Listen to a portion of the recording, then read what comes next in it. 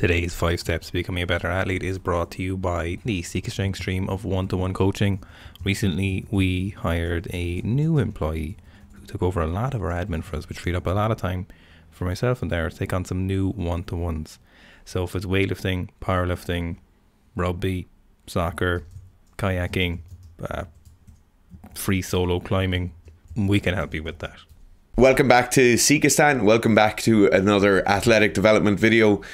One thing we get asked a lot in the comments by our clients, by the members who are on the Facebook page, is what are the main things I can change to make me a better athlete? So, obviously, myself and Owen talk a lot about being a better athlete, the things you can change in your life or change in the way you approach training to make you better at your sport or better at training or just being in a bit better shape in general. The things we're going to talk about today are things you can control. They're things you mightn't commonly think of, things that are under your control, but there are certainly uh, refer to these as kind of action points or things that if you change a few uh, few aspects of your life around, you could certainly alter these particular factors. Is it menacing if I hold a screw like this? Yeah. I don't think it's that menacing. So, the number one and the first actionable point that you can do as an athlete to improve your athletic career and your performance and especially your satisfaction around your sport is consistency. So consistency is something that you have almost full control over. Depending on who you're listening to, you have absolutely 100% control over your consistency. Now, what do we mean when we talk about consistency? We talk about consistency in training, we talk about consistency of technique. Is it nutrition? Well, it's absolutely everything you do has to be as consistent as possible if your nutrition is supposed to be on point and it needs to be on point, then it needs to be as consistent as possible. The amount of sessions you do needs to be as consistent as possible. So it's no good good dry for like two or three months and then not training again for four or five months. There's no point being like, okay, I'm going to get shredded for these competitions. I'm going to cut down weight class and be more competitive. And then you give it two, three good weeks of calorie counting and then you lose a lot of weight, but your training also goes to shit instead of putting more consistent action into your training. So consistency among the best athletes is something that is not even measured in weeks or months. This is a thing that's measured in years and in some cases decades. For example, if we looked at the career of Liu Xiaojun, he finished at the age of 37, started lifting somewhere in the region of his early teens from what we can gather.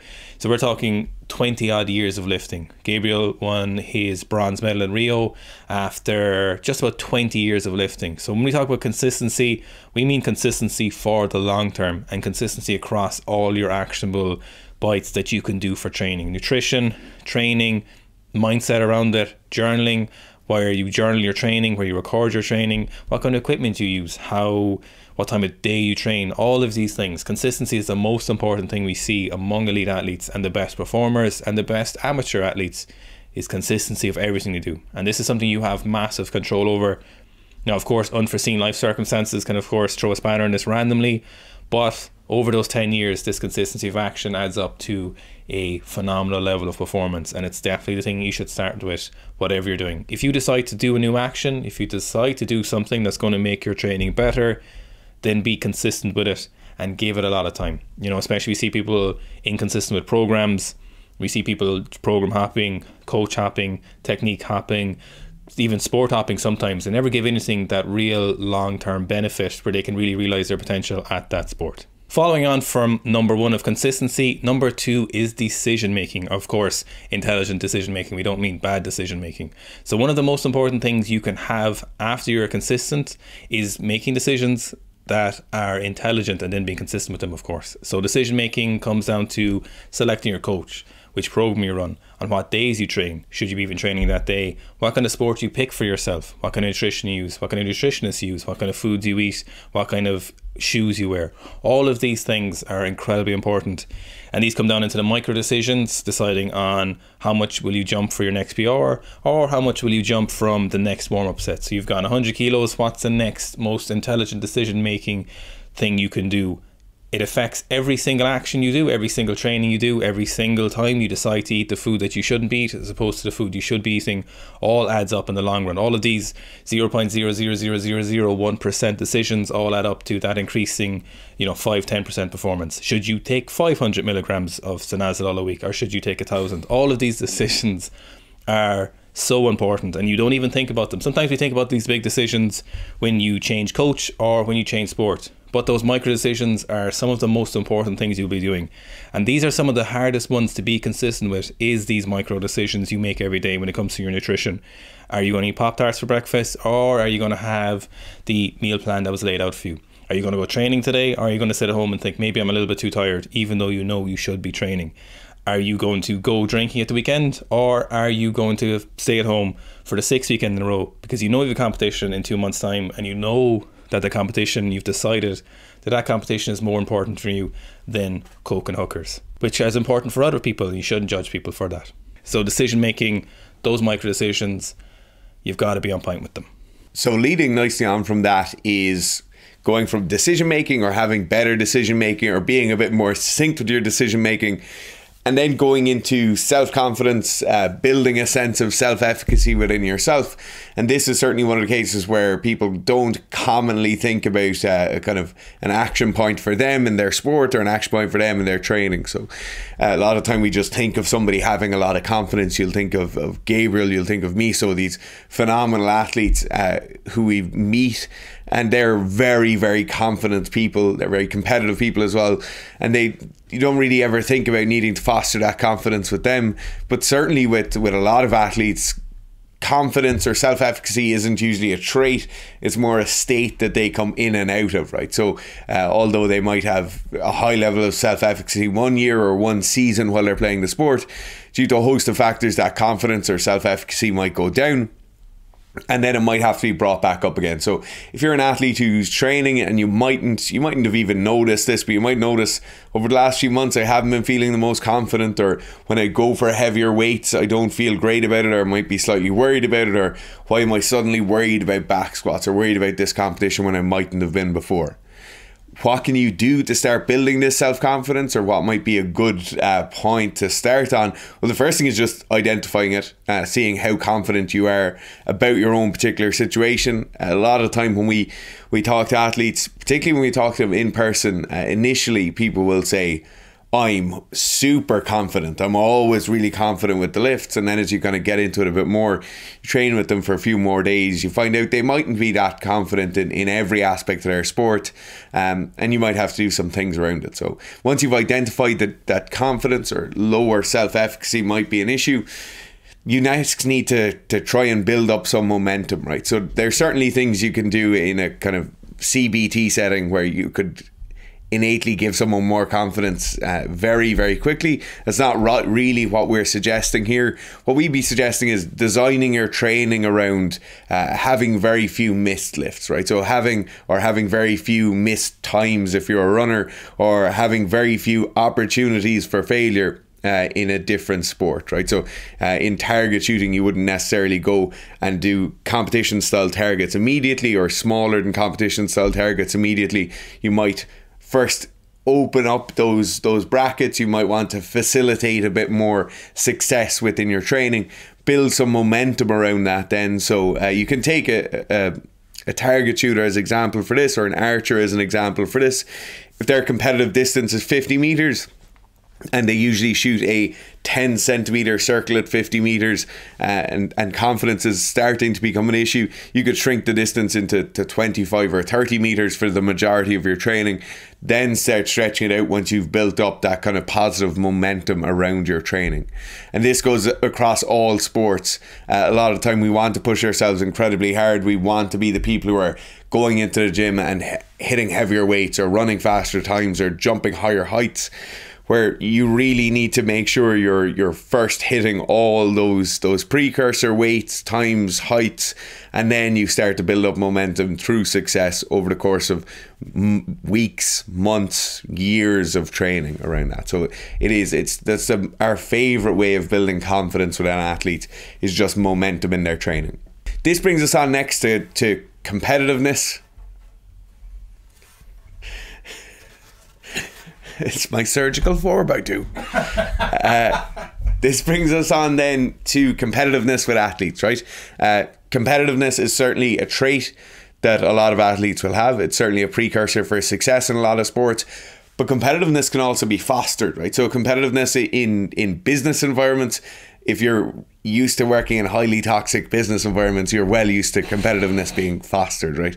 Uh, it works really well. Incentive based selling works really well.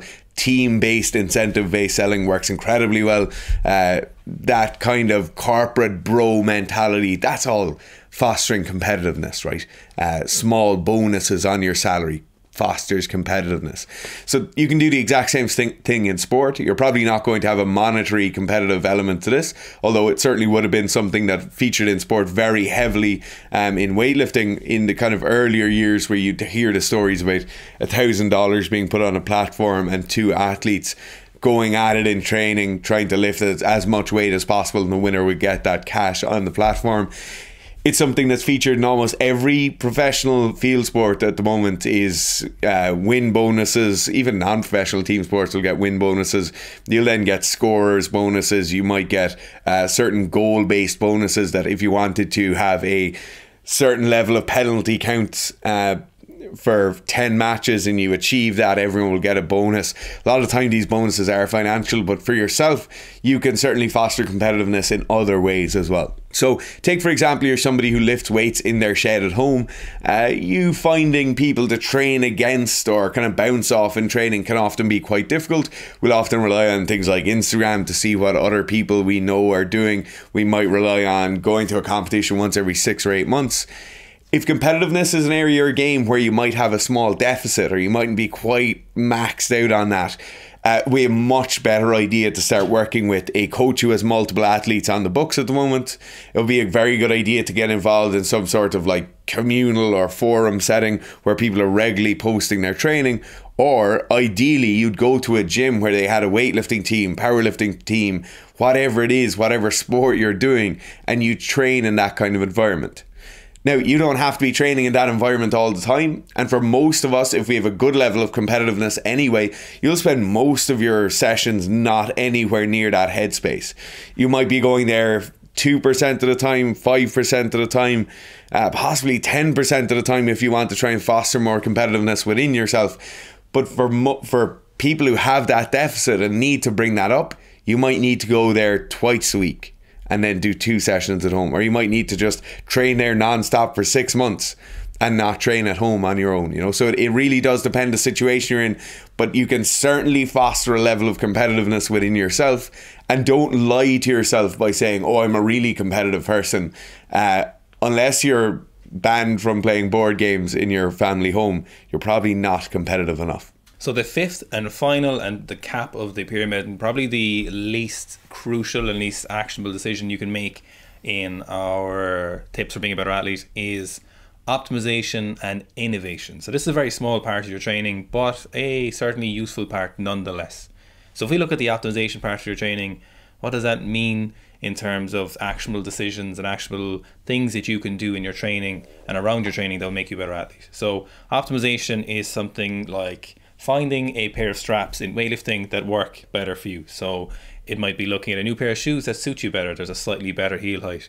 It is taking testosterone from one brand and not using it from another brand. Oh. It, oh. I sorry, I sorry. It's the day after we made that video. Pew pew pew. So it's the optimization of getting maybe grass-fed beef, beef as opposed to grain-fed beef. It could be getting your own chickens. It could be anything to do with nutrition that's improving it. It could be removing gluten from your diet for a period of four months because you're gluten intolerant and you know it just a slightly bit more information during your harder training blocks and it would make more sense for you to get rid of bread. It could be a slight change in time when you get up in the morning so you know by the time you get training everything is a lot better. It could be what time you train at all during the day. It could be something as large as changing your entire career to suit your training better.